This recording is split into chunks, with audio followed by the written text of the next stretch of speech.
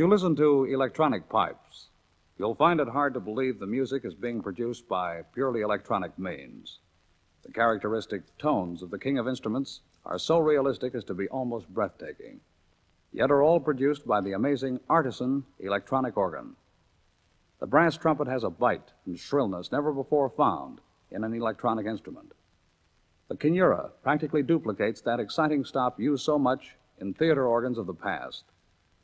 All other stops from the ethereal vox humana to the power and fullness of the diapasons are rich and clear, and all are in the tradition of the majestic king of instruments, the pipe organ.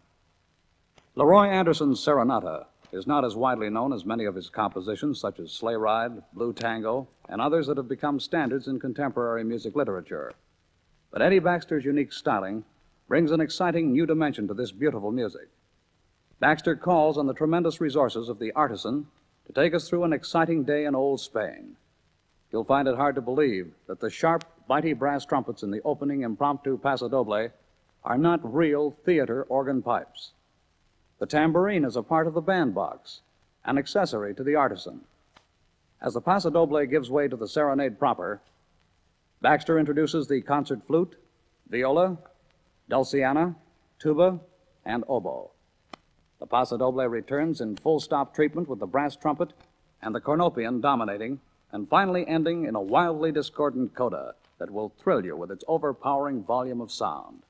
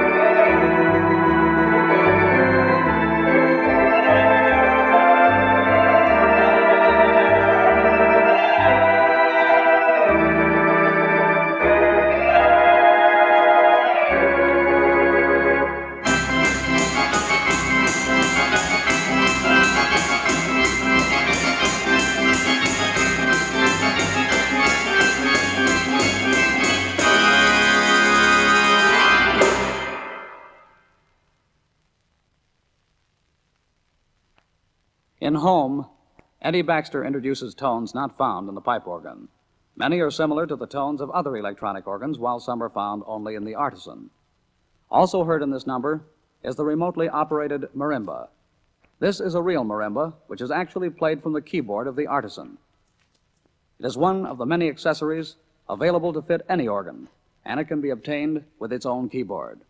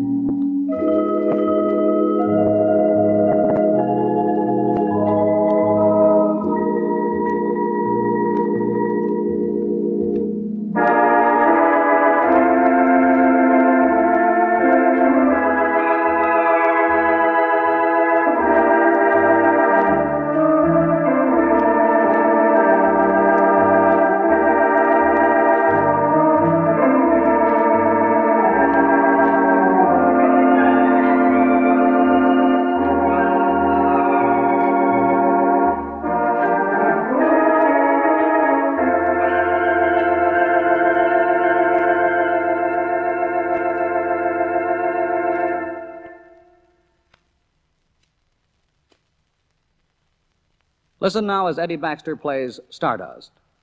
Here, the unique Baxter stylizing is enhanced by the magnificent pipe like tones of the artisan. The concert flute and tibia major take the solo opening, accompanied by viola d'orchestra and dulciana. In the chorus, the gamba is added as the eight foot and two foot solo stops are brought down to the accompaniment manual. The Kruger string bass is given the 16 foot cello with trombone and bassoon added.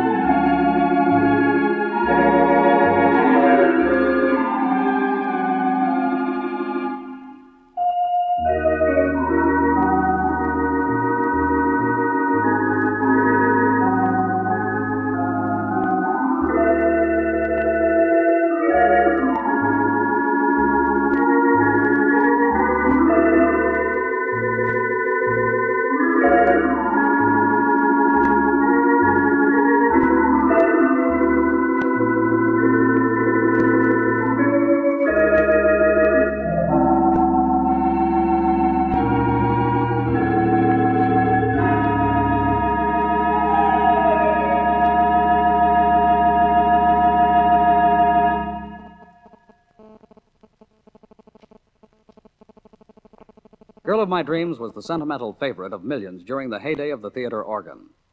Although Eddie Baxter gives it a touch of his unique styling, it still retains the aura of nostalgia. The solo manual features the Kinura, Dulce, viola, concert flute, and tibia major.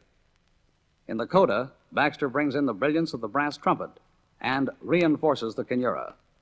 In the pedal, we hear the sonorous 16 foot bass flute with the addition of cello, dulciana, trombone, and bassoon.